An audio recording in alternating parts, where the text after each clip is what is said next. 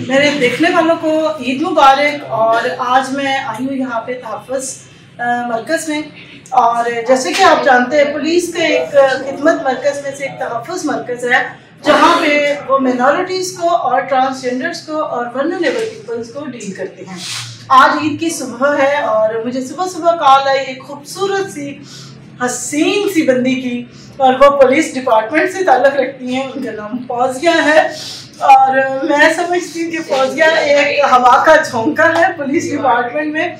और जितनी वो खूबसूरत है प्यारी है उतनी उसके काम भी बहुत अच्छे हैं। और इस तहफ़ मरकज़ की वो इंचार्ज हैं। और आज मुझे बड़ा अच्छा लग रहा है कि जब हम ईद मनाते हैं त्यौहार मनाते हैं तो हम दूसरे लोगों को भी इसमें शामिल करते हैं। तो बीका मसीही उसने मुझे इसमें शामिल किया। और मैं इसका शुक्रिया अदा करती हूँ डी अटक का भी मैं बहुत शुक्रिया अदा करती हूँ कि जिन्होंने मुझे बुलाया ताकि मैं यहाँ पे चीज़ों को देख सकूँ और इस ईद में शामिल हो सकूँ। केक काटा गया यहाँ पर और मेरे साथ शासिया करनी है, जो कि ट्रांसजेंडर कम्युनिटी को डील करती हैं।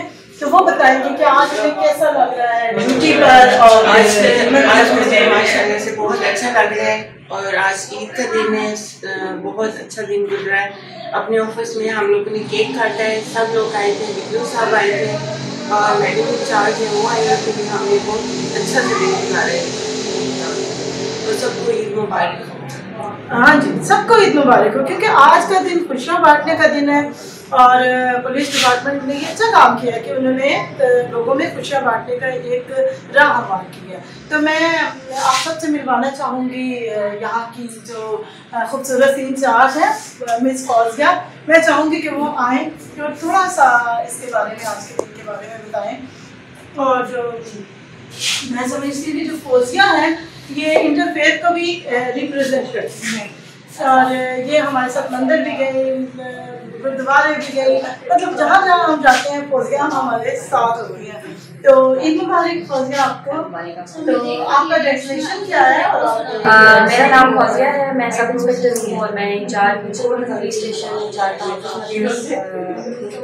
I G Punjab के डिवीज़न के मुताबिक जो है वो डायरेक्टिव और वैसे भी ये एक जो है वो तरह का इवेंट था, कि जिसको हम सारे मुसलमान जो भी कम्युनिटी है, हम इसको सेलिब्रेट करते हैं। और एक रिलीजियस जो है, वो हमारा इबादत वाला एक सेशन गुजरता है उसके बाद हम ईद का एक इवेंट है, उसको सेलिब्रेट करते हैं।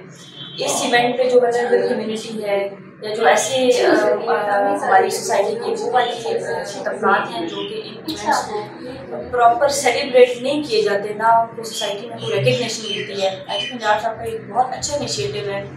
जिस पे डी साहब ने आज तहफ़ मरकज़ के अंदर जो है वो इस ईद सेलिब्रेशन रखी हुई थी, जिसमें हमारे ट्रांसजेंडर कम्युनिटी और वनरेबल कम्युनिटी के लोग उन्होंने शिरकत की।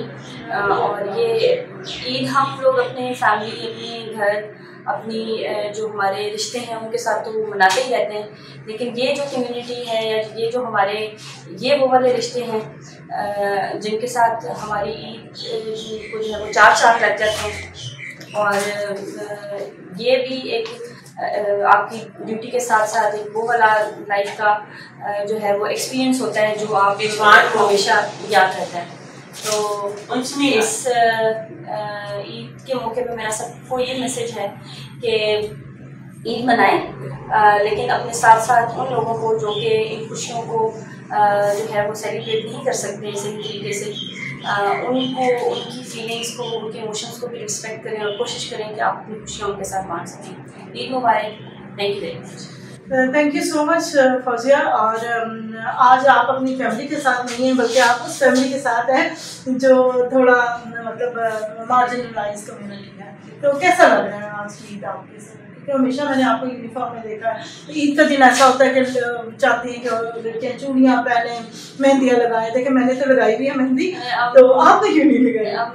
मैं वैसे भी नॉर्मल लाइफ में I am not kind of person like जो नहीं चूड़ियाँ वगैरह इन चीज़ों को बहुत ज़्यादा है I can not carry I am not kind of person की जो ज्वेलरी मेकअप इसको कैरी नहीं कर सकती मैं।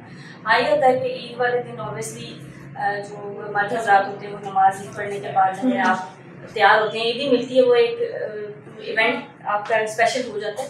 लेकिन today it was very different to me was very first time कि मेरे लिए भी एक डिफरेंट था कि when everybody came home they saw me uniform but ये क्या? तो इस तरह है कि जैसे मैंने पहले कहा कि ईद आप अपनी फैमिली और घर के साथ भी मनाते रहते हैं। वो एक वो वाला एक्सपीरियंस है जो हमेशा करते हैं। और जो। एक्सपीरियंस मेरा आज था इट वेरी गुड कि हमने उन लोगों के साथ भी ईद शेयर की जो they were not able to या उनके साथ कोई शेयर करने वाला नहीं था। इट्स वेरी गुड बिल्कुल जी ऐसी भी लड़कियाँ हैं जो कि मेहंदी नहीं लगाती चूड़ियाँ नहीं कैरी कर सकती उनमें पॉसिबल भी है। और मुझे आज यहाँ पे आज बड़ा अच्छा लगा मैं दिखाती जाऊँगी यहाँ पे। ये पुलिस का मरकज़ है और ये तहफ़ मरकज़ इसको कहा गया है। एक इनका मिसाल सेंटर भी है। लेकिन आज हम तहफ़ मरकज़ में खड़े हैं जिसमें ये सारी खदमात ये देते हैं और जो मजदूर लोग हैं स्पेशल लोग हैं उनके लिए भी ये मरकज़ है। हर चीज़ के लिए ट्रांसजेंडर्स के लिए तो ये मुझे इसलिए अच्छा लगा। Thank you so very much आपको मेरी तरफ़ से बाय और फिर मिलेंगे एक नए वीडियो के साथ। Thank you so very much